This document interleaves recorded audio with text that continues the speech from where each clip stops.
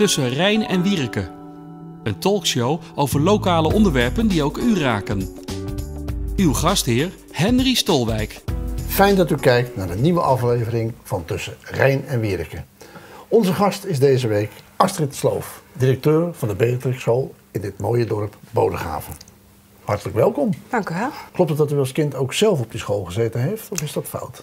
Nee, mijn man heeft op die school gezeten. Toen de school ges- gestart is, in 1968, eh, was hij vier of vijf jaar. Ja, toen Ja. mocht hij naar school. Toen mocht hij daar naar school. En u woonde niet in Bodegraven in die Nee, ik woonde Ergens in- anders. Ergens anders. Ja, en dan mag je daar niet naar school. Wat voor soort school is de Prinses Beatrix School? Eh, ja, een gewone christelijke basisschool. Een Eh, gewone christelijke basisschool. Wat is gewoon in dit verband? Wat met wat, ja, hoe moet ik het zeggen? Wij, ze hebben veel autochtone kinderen op school. Weinig allochtone kinderen. En eh, ja, wij bieden onderwijs. En is dat omdat u een bepaalde levensvisie uitstraalt waar de kinderen bij moeten aansluiten? Of sluiten mensen zichzelf uit omdat die levensvisie er is?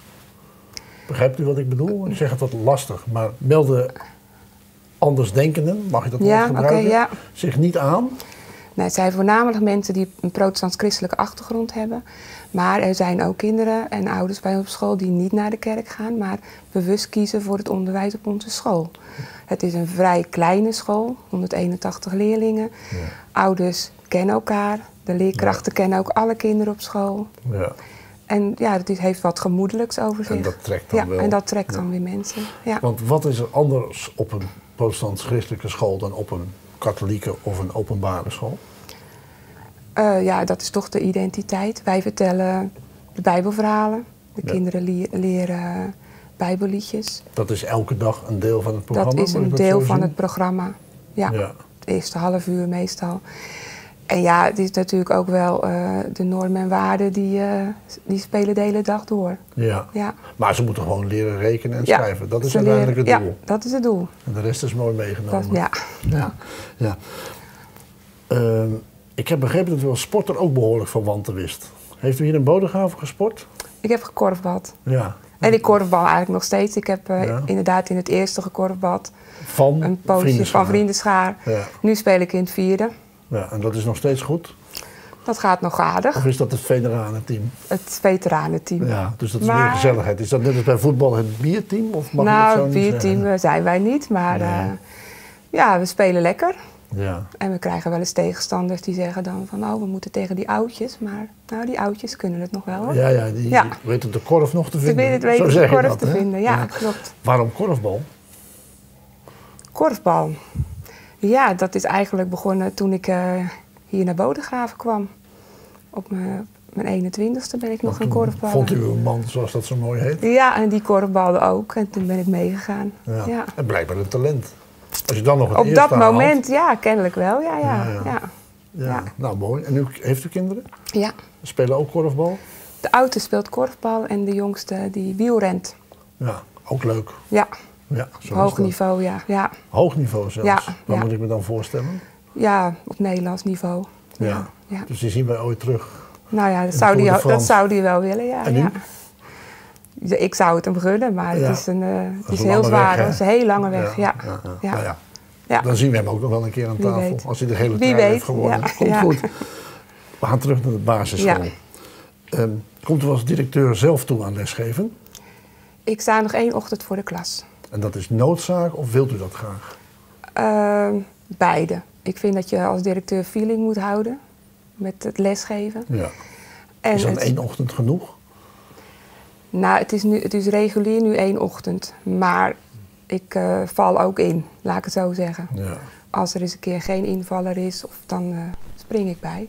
ja. Dus ik eh, doorloop zo de hele school.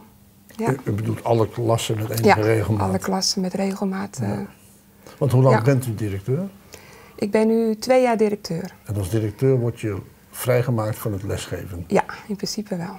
Ja, Ja. in principe. In u. principe wel, maar eh, nu eh, was de formatie zo, dus de verdeling van de klassen was zo dat het gunstiger was dat ik zelf die ochtend erbij pakte. Ja. Ja, ja. En welke klas is uw vaste groep klas? 7 is het nu. Zeven. Nou, dat is Ja. een mooie klas, denk ik. Ja, Die kunnen al wat. Die Maar kunnen het is al allemaal wat. leuk, ja, het is allemaal leuk. Ja. Bezuinigingen is een woord dat we overal tegenkomen en je hoort ook in het onderwijs. Ja. Heeft u daar als schoolhoofd in de dagelijkse praktijk ook mee te maken? ja, de klassen worden groter. En Ja. eh, wat betekent dat groter wordende klassen? Ja, de afgelopen jaren zaten we misschien rond 23 kinderen in de klas. Maar Gemiddeld. Nu, gemiddeld. Maar nu moeten we toch naar de 7, 28 kinderen. Want Eh, we krijgen gewoon minder geld van, eh, van het ministerie. Ja. En daar heb je bij het passende onderwijs. Dat is wel weer eventjes eh, opgeschoven Ja. door de mini- minister. Maar eh, ja, ze willen toch dat wij meer kinderen op school gaan houden. Dus minder verwijzen naar het speciaal naar onderwijs. speciaal onderwijs. Dus Ja. meer, meer intensiever moeten begeleiden. Intensiever moeten begeleiden. Ja, Dat komt neer op de bestaande mensen. ja Minder geld, meer doen. meer doen. Ja. Dat hoor je toch overal? hè? Dat hoor je overal, ja. Kan het ook, denkt u? Want 27, ik kom uit een andere tijd. ja.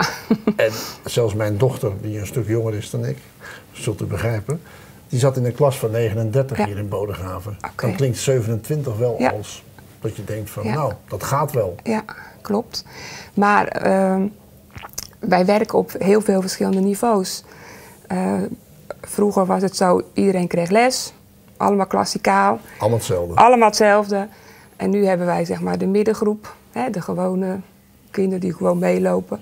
Maar je hebt er een groep boven die wat sneller kunnen. En dan heb je ook nog de begaafdere kinderen, die ook weer extra uitdaging nodig hebben.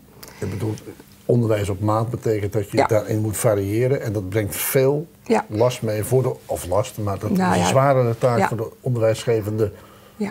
Organisatorisch is het eh, best eh, heftig, ja. Ja. En Ja. dan is 27 een soort bovengrens voor u of Nou, dus een gemiddelde. een gemiddelde? Ja. Ja. Dat kan nog? Dat, dat, dat kan nog. ja. Het moet niet gekker worden. Nee. Ja. Gaat het gekker worden? Eh, wij hebben het in de onderbouw nu wel dat we een flinke instroom hebben. Dus veel mensen kiezen voor onze school, waar we heel blij voor zijn natuurlijk. Dus dan Ja. zitten we op een gegeven moment wel op eh 30 kleuters. Maar dan hebben we het weer zo geregeld dat we een extra kleuterklas maken. En Dus Ja. dat je toch zorgt dat het niet eh, te gek wordt. Nee, Ja. de directeur heeft het er druk mee. Ja. Maar het gaat altijd over geld. U bent aan het schuiven met budgetten, dat begrijp ik. Ja. Ja. Ja. Ja. U zegt bij ons is de instroom goed. Bij heel veel scholen loopt juist het leerlingaantal terug. ja. Wat denkt u? Komt er meer samenwerking tussen de verschillende scholen? Er is wel samenwerking nu al tussen alle Bodegraafse scholen. Reeuwijk eh, is daar ook bij aangesloten. Ja. Wij hebben regelmatig eh, directeurenoverleg. Maar ik bedoel meer een ander soort samenwerking. Ja, waarbij u klassen samenvoegt. U zit in een trosje met drie scholen. Ja, Ik denk dat andere scholen vergelijkbare problemen hebben. Met terugloop van leerlingen. ja. Krijg je straks dat je als je klassen combineert, dat je dan toch wel die onderwijs op maat beter kan bieden? Dus u bedoelt dat je met de drie, bijvoorbeeld Ja, de drie de speler- scholen of zo. Nee, ik, denk ze- bij u samen, u zit om de hoek van de Speler Werkhoeve en de Vogelnest. Daar zou je toch mee leuk kunnen samenwerken. Ja, dat is moeilijk in het onderwijs. ik zie u zo bedenkelijk Ja, kijken. nee, dat is echt... eh, Bah, die katholieken en die openbare nee, ja, willen we dat, niet. Dat blijft dus toch nog wel heel eh, lastig. Ja, Ja. ja. klopt. Maar nood breekt wet, zaken veranderen. Ja. Eh, Op, in welke vorm is er nu samenwerking? Een praat met elkaar, maar ja. Ja, er is samenwerking op het gebied van eh, cultuur. Daar, dat wordt samen ingekocht. En wat, waar moet ik dan aan denken? Eh, we hebben dan een contract met uh, Kunstmenu in, eh, in Gouda. En Alle- alle scholen. En dan wordt daar dus overleg van wat, wat gaan we aanschaffen. En, En wat laten we dan doen. ook met de Speler Werkhoeve en met de, het Vogelnest en met de scholen op andere plekken in het dorp? Ja. Ja. Ja. ja. En scheelt dat geld? Dat scheelt. Ja, want je koopt het natuurlijk eh, groots in. Ja. Dus dan gaan alle, alle groepen drie van de heel Bodegraven gaan naar die voorstelling. En dat is eh, toch wel eh, ja, beter. Want die Ja. mensen hoeven maar één keer te komen. Ja. Ja. U zei net, het ligt moeilijk, die samenwerking. Ja. Denkt u dat dat moeilijk blijft? Of zal door de veranderingen, de bezuinigingen, het kabinet komt weer met nieuwe maatregelen binnenkort. Wordt u gedwongen tot samenwerking wellicht? Ja, misschien wel tot samenwerking, maar ik denk dat het dan toch blijft eh, met de, bijvoorbeeld de drie protestant-christelijke scholen en de, en de twee katholieke scholen die er zijn in Bodegraven. Ik Ja. denk dat het heel moeilijk is om toch die, die zuilen te doorbreken. Ja. Ja. Ja. Ja, we gaan het allemaal meemaken. Hartelijk dank voor dit gesprek. Eh, het zit er weer op. Wij sluiten Rijn en Wierike voor deze week af. En volgende week zijn we terug. Dan hebben wij aan tafel Arie de Groot, gemeenteraadslid voor de ChristenUnie. Dank u wel. Wie zijn er de volgende keer te gast in tussen Rijn en Wierike? Neemt u de uitnodiging aan en zit u binnenkort bij ons aan tafel?